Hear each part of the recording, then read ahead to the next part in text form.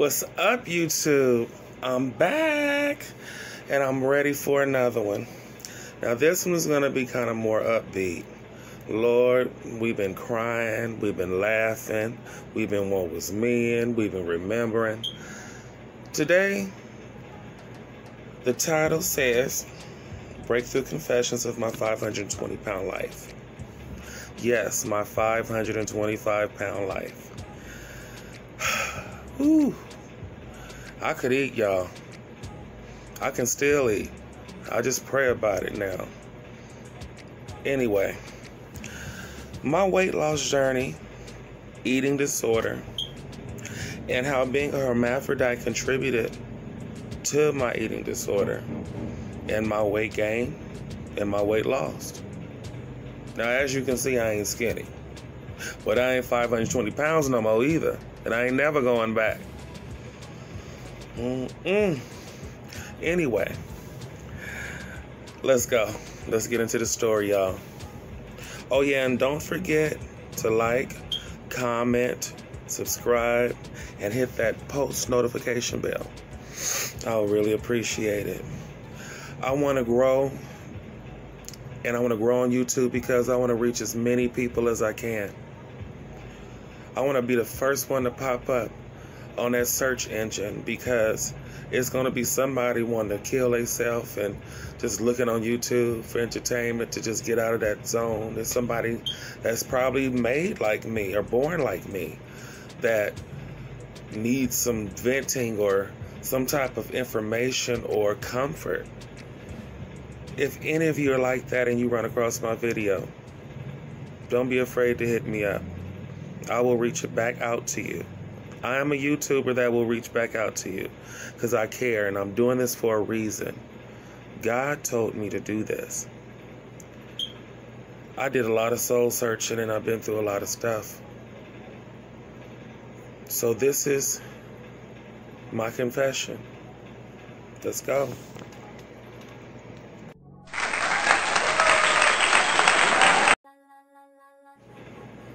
I'm back. All right, let's start the story, y'all. Now, it started when I was a kid, of course. And if you went through all my other videos, it's a recap that everything is basically connected. So, the way I was born, a hermaphrodite, um, I was bullied, I was abused, but I'm still here. What's that saying? Got my butt kicked, kicked some butt, but I'm still here. Yes. Um, what else? Whew. It's so much. Oh, yeah, being raped. All that contributed to my weight gain and my weight loss throughout the years. So, six years old. Recap again. First time I got beat how I coped with that was Twinkies. That's where it started, Twinkies. Oh, that's my favorite. I still love Hostess. Hmm. Anyway, focus.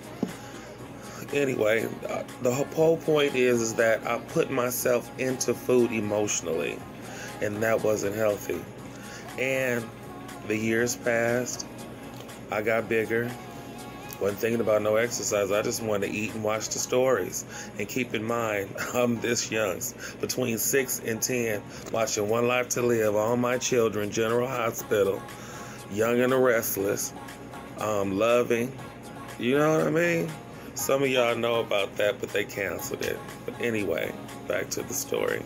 So basically, it was TV, comfortable bed, comfortable room, and food at an early age. So that laid the foundation to how I started coping with things. It started early.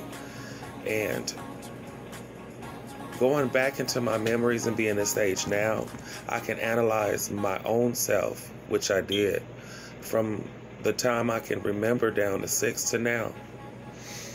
I thank God that He's bringing everything together so I so I can heal in the process of talking to you. And hopefully somebody's healing with me watching this. So, between the years, I gained weight up and down, up and down, and between the abuse and the teasing and the whew, the judging in school, I would go to school in elementary school. I'm a, I'm a, I'm keep in order. Elementary school has started. I will work in the kitchen. Keep in mind that I haven't told anybody that I'm a hermaphrodite, so I'm holding that in. I'm holding in getting beaten, being embarrassed from home. I'm holding in being bullied and called a faggot at school. I'm holding in the girls don't want to play with me because I'm the only boy around them. Go play with the boys. So my friend was food, really. People were cool with me. People, hey, how you doing? Laughed at my jokes. But no, food was my friend. So I'll go over to the cafeteria and work and work for food like I ain't never ate at home and my mama cooked good. Rest her soul.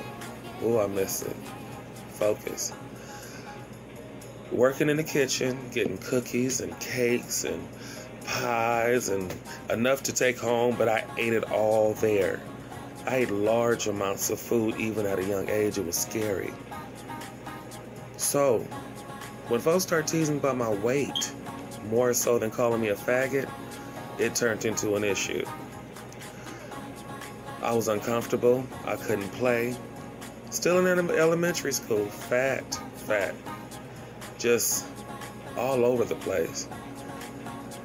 When folks started teasing me, it started bothering me, and I started having body issues. I started being self-conscious. Um, things were harder to do. I never, I didn't want to go outside. I just kept watching TV, watching the stories, eating, crying, and I finally got to the point to where I hit puberty. Now, I'm in junior high school now. I hit puberty and things start changing. I start feeling a certain type of way. I get crushes and stuff now, but still I'm not expressing it. But to myself, it's like, ugh, I look like this, and everybody else look like that. People jogging in gym. I'm I'm slowly walking. Of course, I can't get dressed in gym, so they let me get dressed in the bathroom. Connected story, doctor's note, me being hermaphrodite. Just keeping you guys up just in case you guys skip that little button. I know what you do. Anyway, no shade. I do it too. But yeah, gym class was awkward. Everything was awkward, and all of that took an effect on me. And all I could do was couldn't wait to come home, sit in the room by myself, because I did my homework at school. Sit at home by myself, listen to my music, take a shower, eat large amounts of food, go to sleep, and then go back to school and get ridiculed again. So this went on for up until the eighth grade, and when we and I graduated. That summer, I was nervous about going to high school. I was I was so nervous. I'm like, oh my god, okay, I'm already being called a faggot. I'm already being judged about my weight. And I'm even bigger than I ever was. I had reached 290 pounds. 290 pounds. Going to the ninth grade, being 14, that ain't right. Uh, that ain't right. That ain't right. It's not. It's not right. So I was I was just feeling awkward. I'm like, what am I gonna do? Summer's here. So my mother, rest her soul, was like a boot camp. She watched the refrigerator because I used to steal food when I was a kid. Um, and not because I was hungry, because I was greedy, because my mother fed me well. I just had an eating disorder. I was eating my pain away. Nothing was never enough.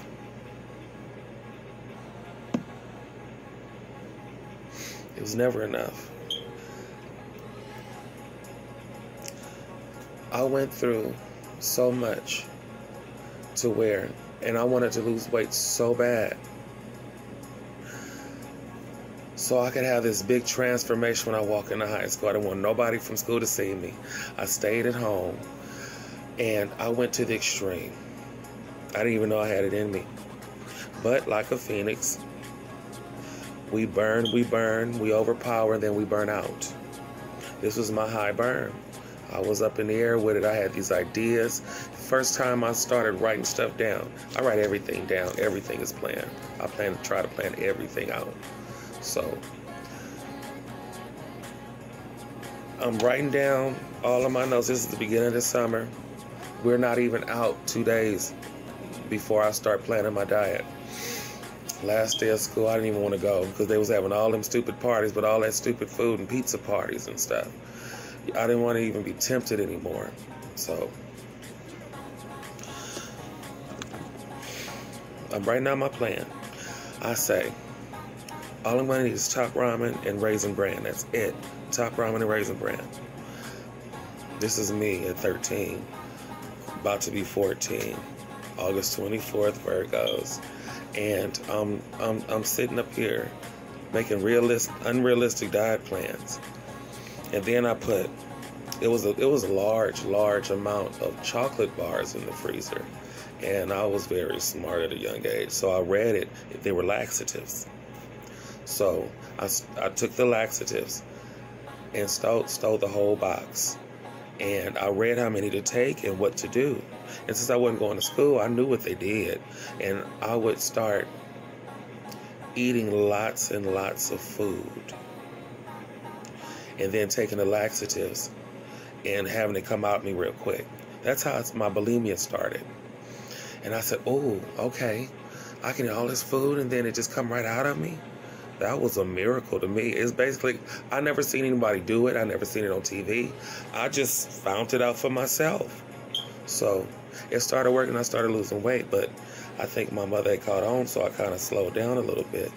So that kind of made me work harder and not eat less because she was on to me watching the refrigerator. I couldn't take no more because it was a lot of them. I just took one box. So I started exercising back to back to back every day, consecutively. And at that time, I was really, really into music, had my Walkman all the time. And it was Michael Jackson's double CD that I listened to constantly because he had all that fast music and I could work to it, and Mortal Kombat. I, am eclectic, I listen to all kind of music. So, I'm doing all of this, working hard, moving, running, and I just see the weight shed off of me. It's just shedding. Then I start eating and lots of food and throwing up at night when everybody go to sleep. Eating lots of food and throwing up. My mother would cook all this food and freeze it and put it in the freezer already made. So it was like I had all this access and everybody sleep. And mind you, I told you that my mother drank a lot, so she slept hard. So I ate all I could and threw it up. All I could throw it up in the mornings, um, doing my crunches. At night, doing my crunches. All throughout the day, all day, I'm walking around the block. You can ask anybody who knows me that lives around me. I will walk all day. So it came to a point to where I would throw up so bad I would pass out in the bathroom. I wake up eventually, but that wasn't good. My bowels were erratic. I was bleeding. It got bad. But I didn't care because I had lost almost 80, 80 some pounds. I had lost a lot of weight and it was noticeable. So it kept going and kept going and kept going until it got really, really, really, really bad. And this is me after graduation in high school, I'm on my way to class. I hadn't eaten anything. Keeping up with everything. After this is after Benny's death, after my father's death. My bulimia comes back because it took a pause. I was working, going to school, working, going to school. I was kind of focused and kind of throw it off, and you know, got used to myself after I got into the acting. So I started being normal. So I'm in college, and it comes back. I pass out again. I just have a complete blackout. And throughout my life, I had a couple of blackouts with family members, and they didn't realize what it was, but it was me not eating, having bulimia, and some some um, Hispanic girl picked me up off the floor and asked me was I okay. I was right in the corner in study hall when I passed out, and I passed out leaning against the chair so nobody could could tell. And when I woke up, blood was all under my butt and they were, rushed me to the nurse, and they they then they said they need to I need, need to call the hospital. They rushed me to the nearest hospital in Carson. Me not telling anybody anything. My friend from school picked me up and dropped me off at home. I was sick, throwing up blood for like two weeks. I'll never do that again. I almost ruptured my esophagus and I almost messed up my bowels. My my bowel movements, I, I couldn't even have a bowel movement because they, it made them irregular, and I didn't know it would get that bad. That was from all the diet pills over the years, throwing up, eating and throwing up.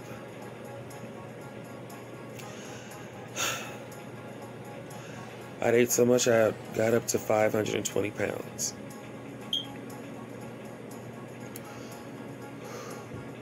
Within the utmost recent years of eight years ago, up until now, I've been struggling back and forth with my weight, been in between. And I went all the way down to 190. So altogether, I lost 330 pounds, basically. And now that I've come to myself, I've looked back at my old self and learned my lessons and risen from my ashes. I know now that it's not a diet anymore, it's a lifestyle. And in order for you to live, you have to eat. And you have to eat the right things. You have to right, eat the right amount at the right time. And you have to do the proper exercise. No, I'm not skinny, but I'm not stupid. I'm not doing that anymore. I've grown up, I've learned, I've changed, and I'm eating healthier now. I'm not on a diet, I'm on a lifestyle. And I've changed miraculously. I've lost weight, and I'll soon have my big reveal when I lose it all. But y'all will notice through the videos, you know what I mean? anyway, I thank you for listening to me. I appreciate you. And if you ever feel like you can't talk to anybody, there's nobody around that'll listen, do like I do. Do like I do now. I sit, I take a deep breath, and I just start talking to the Lord. I talk, um, I start talking to him like he's sitting right next to me. Like he's just a friend sitting right next to me, and he's the only person I can talk to. And after you do that, You'll be amazed how much better you feel. Then write everything that you know you need to do for yourself down. Tell yourself the truth. Be honest with yourself first before you're honest with anybody else. Then you can start living. I love you. I appreciate you. And please don't hit, forget to hit those post notifications like, subscribe, and comment. Either way, I'm going to still be here and I'm going to still have to tell my story. Thank you for listening, and I really appreciate you. Whew. This is episode four, y'all taken care of. Y'all ready for five? Mm-hmm. Y'all can just imagine what I'm about to talk about next. Love you. Phoenix Saga continues.